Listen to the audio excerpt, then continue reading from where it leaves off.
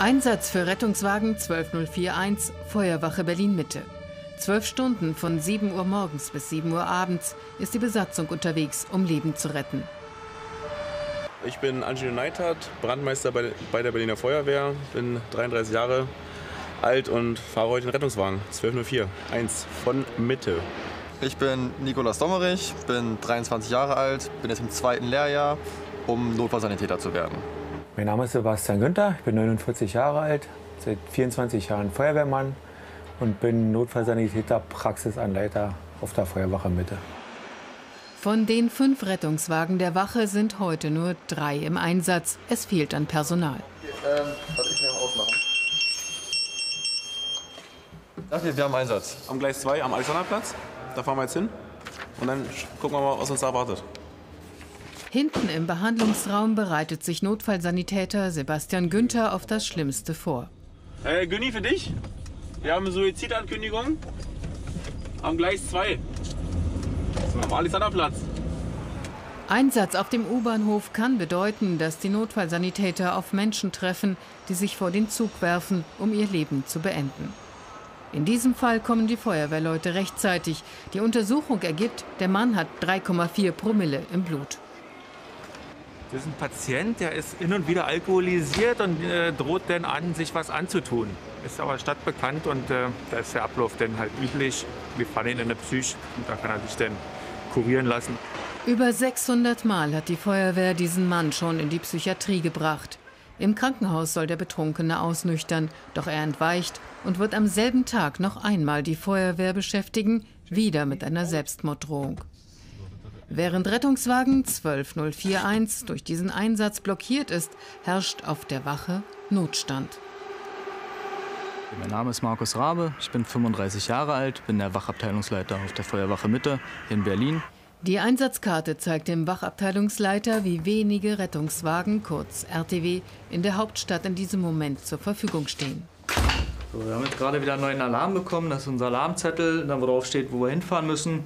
Das Problem ist, da wir stadtweit gerade noch zwei RTWs verfügbar haben, ist der Alarmweg relativ weit. Das heißt, wir haben eine Anfahrt von ungefähr 26 Minuten, was natürlich dann bei dringenden Notfällen ähm, für den betroffenen Patienten sehr ungünstig ist. Kaum hat RTW 12041 das Krankenhaus verlassen, schon wartet der nächste Notfall. Wir haben Einsatz, Zustand bei unbekanntem psychiatrischen Notfall. Der Patient hat selbst die 112 gewählt. Depressionen, Selbstmordgefahr. Mit Blaulicht jagt der RTW durch die Stadt.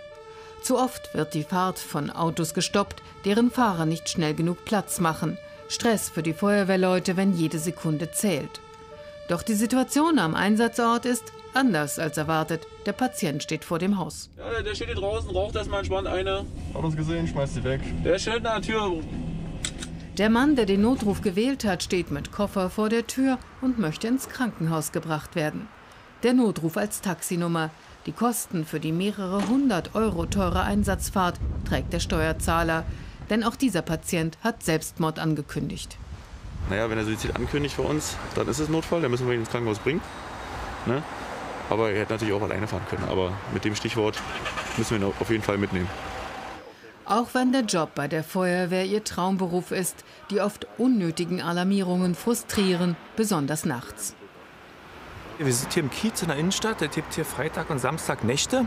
Und ernst ist relativ vermeidbar, sind 80 Prozent in den, im Kiez in den Nächten. Also wenn es kein Alkohol gäbe, hätten wir nachts ganz wenig zu tun in der Innenstadt. Also klar hatte ich schon erwartet, dass es mehr Unfälle gibt und mehr Schwerverletzte und sowas. Aber gerade diese Alkoholgeschichten und so, das ist, hat man sich so nicht vorgestellt, nein. Also ich habe das Gefühl jetzt in meinen drei Jahren, die ich jetzt hier bin, dass die Leute sehr hilflos geworden sind. Ähm, dass viele nicht mehr Plan B im Kopf haben. Wen könnte ich vielleicht noch kontaktieren für die kleineren Sachen, die ich vielleicht haben könnte? Könnte ich meinen Nachbar fragen, könnte ich äh, Bekannte fragen, kann ich vielleicht auch mal ein Taxi ins Krankenhaus fahren? Es gibt alles Möglichkeiten, die man machen kann, aber es wird gar nicht mehr drüber nachgedacht, sondern es wird ein, ein, den, der einfache Weg gewählt. Und das, das sind auch Sachen, die uns dann halt auch belasten, dass wir halt viel fahren, was nicht nötig ist. Auf der Wache Berlin-Mitte kommt ein Löschfahrzeug vom Einsatz zurück. Die Feuerwehrleute sind ausgebildete Sanitäter und halfen bei einem Unfall. denn der Rettungswagen war zu weit entfernt. Eine Notlösung, denn Patienten transportieren kann das Löschfahrzeug nicht. Das Problem ist, dass, wir, dass die Kollegen eben so oft auf dem Rettungswagen sind und so viele Alarme fahren, dass wir, dass wir auf Verschleiß fahren und äh, dass wir dadurch auch einfach Personalausfälle haben. Und ähm, dadurch haben wir halt auch viele Langzeitkranke und es fallen halt immer mehr Kollegen aus. 16 Uhr. Nach neun Stunden ist Zeit für eine Mittagspause. Heute ist sie 15 Minuten lang. Als Beamte haben wir offiziell keine Pause, aber wir haben die Möglichkeit, 15 Minuten lang das Auto nach dem Einsatz mal sauber zu machen. Und das lässt sich dann kombinieren. So, Not. Wir drum Auto sauber machen, frische Sachen anziehen und dann noch schnell ein Essen runterschlägen. Gegen Ende der Schicht wird RTW 12041 zu einem Verkehrsunfall gerufen. Ein Mann ist mit einem Leihroller gestürzt, hat schwere Verletzungen.